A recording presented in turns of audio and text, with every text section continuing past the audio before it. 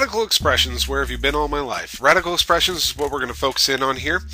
And this specific lecture, we're just going to talk about the concepts behind simplifying ra radicals. In a future lecture, we'll actually go into a ton of examples of simplifying radical expressions. But this is the important lecture of the two because this one will learn all the reasons why we simplify radicals the way we do and also talk about uh, some of the more advanced topics in, in concepts behind simplifying radicals.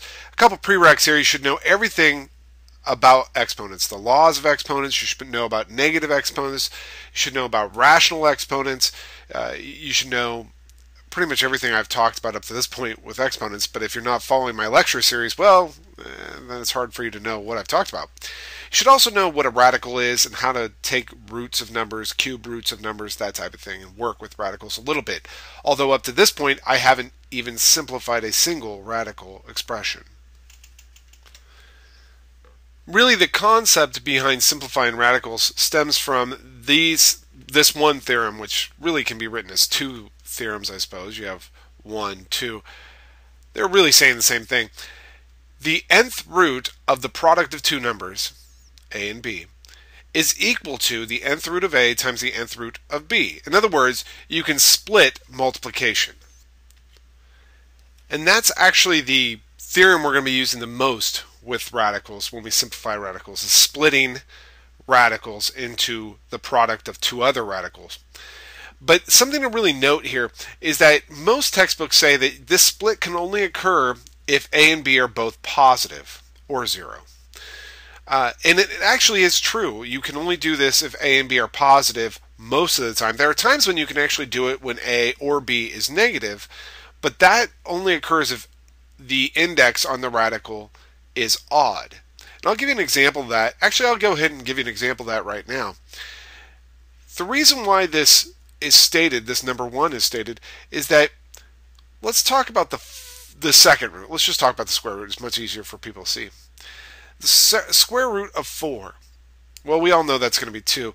But if you were to say, oh, that's like the square root of a negative 2 times a negative 2, right? Which is actually 4.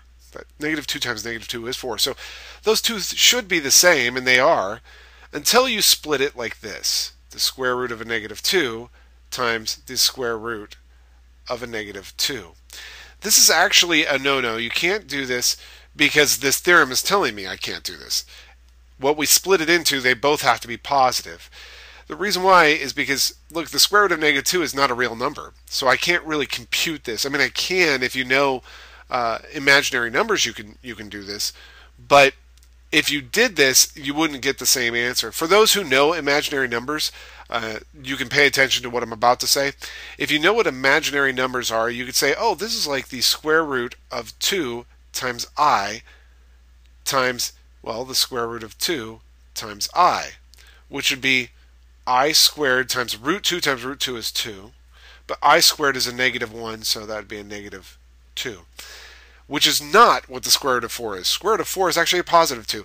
So that's the issue with splitting a number like positive 4 into two, the product of two negative numbers.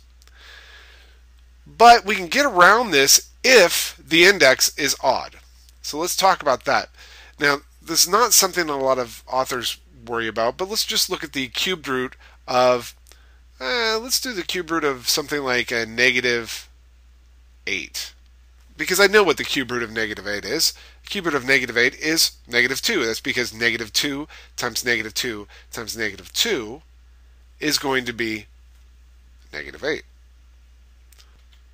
And in fact, before I continue, I, I just thought of the fact that I might want to do this using a different number. So let me do a negative 216 instead. Sorry about that, but the only reason why I do this is because I want to prove a point here.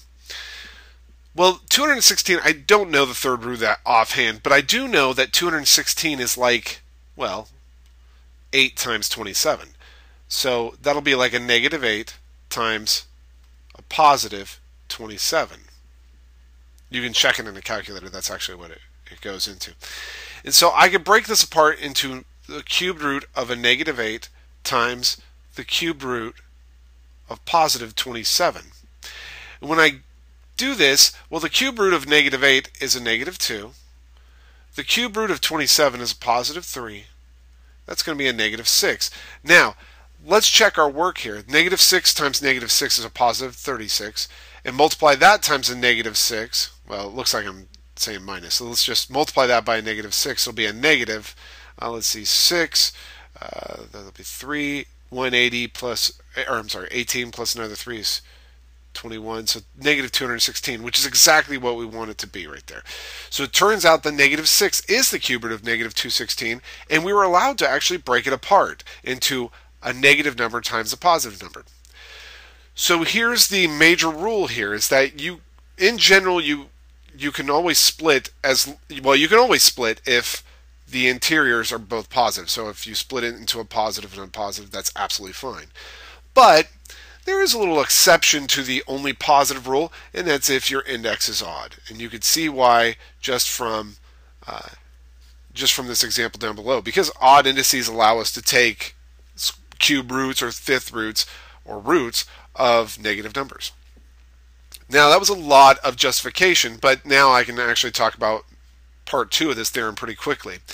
Part two is saying the same thing that part one is. It's basically saying that you can split division. Well, division and multiplication are intimately tied, so uh, it should be pretty obvious that you can split division as long as you can split multiplication. So you can split division as long as, again, the interiors are positive.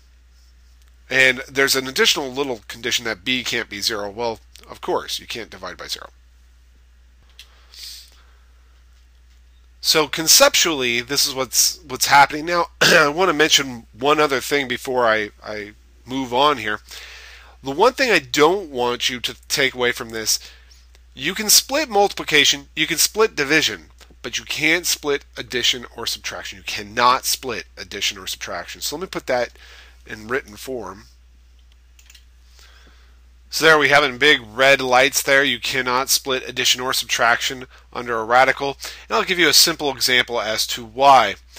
Let's take a look at the radical the square root of 9 plus 16. And I did this in a previous lecture as well, but I think it's good enough to see it here again. We know that we can follow the order of operations here. The order of operations says add those two numbers. So this should actually be the square root of 25. And we all know the square root of 25 is just a positive 5. Okay. But if we were to suppose incorrectly, so let me write does not equal here, but if we were to suppose incorrectly that we could split it, you'll see something wrong happens. Whoops, that's wrong in and of itself. Well, we would split it to the square root of 9 plus the square root of 16. Well, the square root of 9, that equals 3. The square root of 16, that's equal to 4. So that would be 7. Notice that we know the real answer is supposed to be 5. Had we split the square root, the addition amongst the square root, then we would have got the answer 7, which is absolutely wrong. The same thing for uh, subtraction. You can't split subtraction. So I will often see students do silly things like this. Oh, I have the square root of x squared plus 4, and they go, oh, that's just x plus 2. It's not x plus 2. Because what you're doing there is you're saying, oh, that's like the square root of the first thing plus the square root of the second thing. In other words, you're splitting the square root. You can't do that. We do not have a theorem that says we can split square roots uh, when we have additions or subtractions. Now, I sincerely hope that kind of sticks with you. And now, in the next video lecture, I'm going to be talking quite a bit about simplifying radicals. So let me just go over again what it means to simplify a radical expression. So we have some radical expression. It might be just a single term, or it could be adding a couple radicals, or it could be multiplying a few radicals, whatever it may be. But we want to know what it means to simplify the radical. A radical is considered simplified if all four of these conditions are met. Each factor in the radicand is to a power that's less than the index of the radical. In other words, a good simplification is if you had something like, oh, I don't know, fourth root of uh, 3x to the third. Notice the power on this is less than the, the index on the radicand.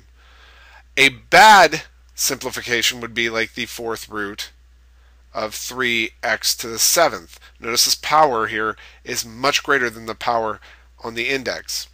So, or the number of the index. So this tells me that this can be simplified further.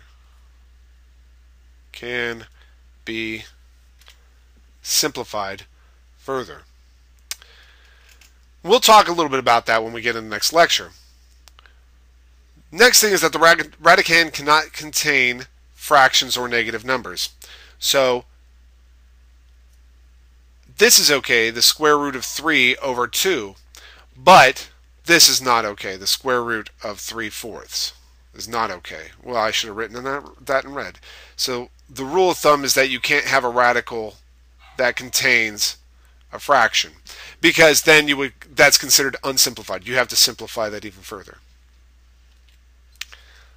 The topic that I have grayed out here, all denominators must be rationalized, that's actually a throwback to the olden days when we didn't have calculators that we'd have to require all fractions to have rationalized denominators.